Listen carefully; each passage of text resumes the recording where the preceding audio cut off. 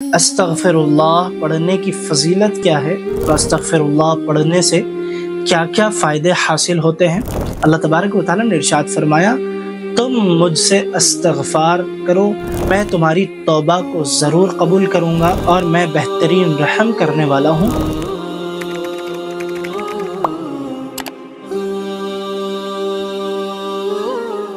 असलकम वरहमतुल्लाहि वबरकातुहू आप देख रहे हैं दीनी वज़ाइफ। मैं हूँ मिर्ज़ा उसामा बेग। आज की इस वीडियो में अस्तगफिरुल्लाह पढ़ने की फजीलत क्या है और अस्तगफिरुल्लाह पढ़ने से क्या क्या फ़ायदे हासिल होते हैं? और अस्तगफिरुल्लाह सिर्फ़ इतना है या पूरी दुआ किस तरह से पढ़ना चाहिए? आज की इस वीडियो में मुकम्मल हम सुनेंगे, देखेंगे। वीडियो आखिर तक देखें ताकि आपको मुकम्मल तरीका इस अमल का, इसके पढ़ने की फजीलत क्या है और इससे फ़ायदे क्या क्या हासिल होने वाले हैं? मुकम्मल मालूम आपको हासिल हो सके। और जो पहली बार हमारे चैनल पर आए हैं, उनसे गुजारिश है हमारे चैनल को ज़रूर सब्सक्राइब कर लें, बेल आइकॉन को ज़रूर प्रेस कर लें, ताकि आप तक हमारी हर वीडियो का नोटिफिकेशन मिलता रहे। अस्तगफिरुल्लाह, कुरान हदीस से साबित है। कुरान में अल्लाह तबारक व ताली ने अस्तगफिरुल्लाह को जगह जगह इरशाद फरमाया है कि तुम मुझसे अस्तगफार करो। मैं तुम्हारे अस्तगफार को कबूल भी करूँगा, तुम्हारे गुनाहों को माफ़ भी करूँगा और मैं इन उसके फजल से कई चीज़ें इनाम के तौर पर अता करूँगा। कुरान की एक आयत है फ़कुल तुस्तगफिरू रब्बकुम इन्नहु काना गफ़ारा युरसिलस्समाअ मिदरारा। वयुमदिदुकुम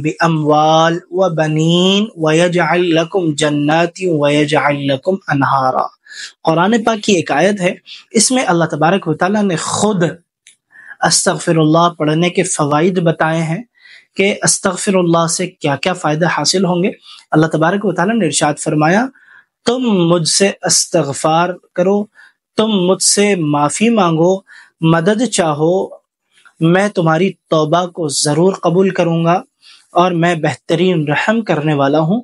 जो शख्स अस्तगफार पढ़ता है, अगर मौसम गर्मा हो या गरमाइश का वक्त हो, बारिश नहीं हो रही हो तो अल्लाह तबारक वाली ने कुरान में फरमाया है कि जो शख्स अस्तगफार पढ़ेगा, कसरत से अस्तगफार करेगा, अल्लाह तबारक वाली उस जगह पर या उस शहर पर जिस जहाँ के लोग कसरत से इस्तगफार करते हैं, वहाँ पर मैं बारिश बरसाऊँगा। मिदरारा वयुम बी अम्बाल। बहुत से लोग माल के अतबार से बहुत कमज़ोर होते हैं, तंग होते हैं, मुफलिसी बेबरकती जिंदगियों में होती है, बहुत ज़्यादा कमाते हैं, सब कुछ करते हैं, लेकिन पूरा घर कमाने के बावजूद घर में पैसा नहीं बचता है या पैसों में बरकत नहीं होती है या पैसे आने से पहले ही हालात उनको घेर लेते हैं तो अल्लाह तबारक व ताली ने कुरान में फरमाया, जो शख्स अस्तफ़ार करेगा वयुन दिदकुम बी अमवाल, मैं उसकी माल के ज़रिए से मदद करूँगा।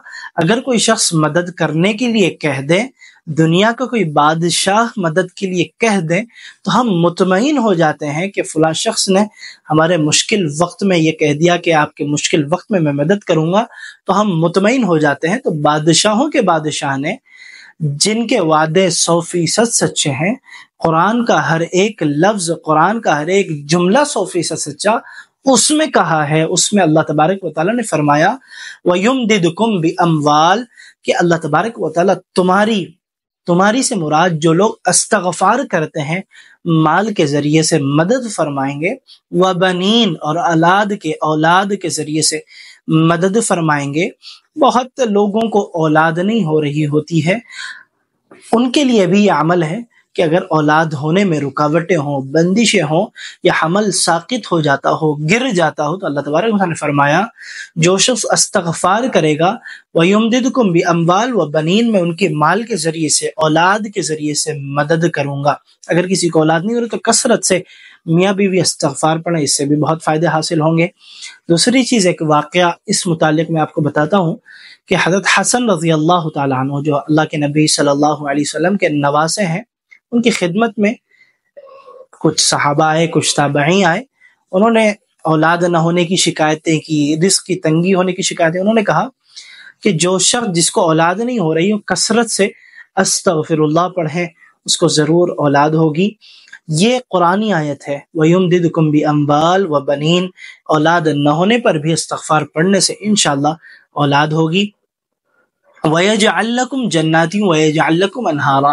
कि अल्लाह तबारक व ताली की बरकत से माल में रिस्क में प्रॉपर्टीज़ में, हर चीज़ में अल्लाह तबारक व ताली ने कुरान में कहा है कि इससे तुम्हारी जिंदगियों में हर एतबार से, जिस्मानी एतबार से, माल एतबार माल के एतबार से और हर एतबार से जो ज़िंदगी में इंसान को पेश आती है, उस एतबार से अल्लाह तबारक वाली ने फरमाया है कि मैं मदद करूँगा। तो हमें कसरत से अस्तगफिरुल्लाह पढ़ना चाहिए। एक बुज़ुर्ग है, उन्होंने फरमाया कि कम से कम रोज़ाना अस्तगफिरुल्लाह की जो मकदार बताई है, कम से कम रोज़ाना तेरह सौ मरतबा है और ज़्यादा से ज़्यादा तेरह हज़ार मरतबा इसको पढ़ सकते हैं, पढ़ना चाहिए। अल्लाह के नबी सल्लल्लाहु अलैहि वसल्लम नबी होने के बावजूद अस्तगफिरुल्लाह की तस्बीह पढ़ा करते थे। अल्लाह से माफ़ी मांगा करते थे। हालाँकि वो बख्शे बख्शाए थे, मासूम थे, फिर भी वो पढ़ा करते थे तो हमें भी अस्तगफिरुल्लाह की तस्बीह पढ़नी चाहिए।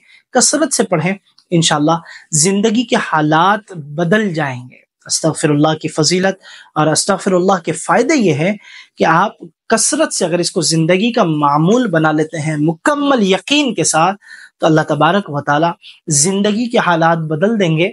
इसका सबसे पहला फ़ायदा जो कसरत से अस्तगफिरुल्लाह पढ़ता है, अल्लाह तबारक वाली उसको एक फ़ायदा सबसे पहले ज़रूर अता फरमाते हैं, वो ये है कि ज़िंदगियों से रंज गम मुसीबतों को दूर फरमा देते हैं। तो आप सब कसरत से अस्तगफार पढ़ें और अस्तगफिरुल्लाह मुकम्मल पढ़ना चाहिए, या अस्तगफिरुल्लाह ही काफ़ी है तो आपके सहूलत के अतबार से अस्तगफिरुल्लाह भी पढ़ सकते हैं, या अस्तगफिरुल्लाह रब्बी भी पढ़ सकते हैं, या अस्तगफिरुल्लाह जो लंबी दुआ है, अस्तगफिरुल्लाह व अतूबु ये भी पढ़ सकते हैं, अस्तगफिरुल्लाह रब्बी, ला इलाहा अंत, ये भी मुकम्मल दुआ पढ़ सकते हैं, या आप अपने अतबार से जो आपके लिए सहूलत हो वो दुआ पढ़ें इनशाला इसके ज़रूर फ़ायदे आपको हासिल होंगे। वीडियो देखने का, मुकम्मल देखने का आपका बहुत बहुत शुक्रिया। अगर आपको ये वीडियो पसंद आया है, अगर आपके अच्छा लगा है तो वीडियो को अपने दोस्तों के साथ, रिश्तेदारों के साथ, बहन भाइयों के साथ, पड़ोसियों के साथ शेयर करें। ताकि सब लोग फ़ायदा भी उठा सकें और उनके मुश्किल के हल होने का आप और हम मिलकर ज़रिया बन सकें। मिलते हैं अगली वीडियो में। जजाकम्ल खैर। असल वरहमल वर्का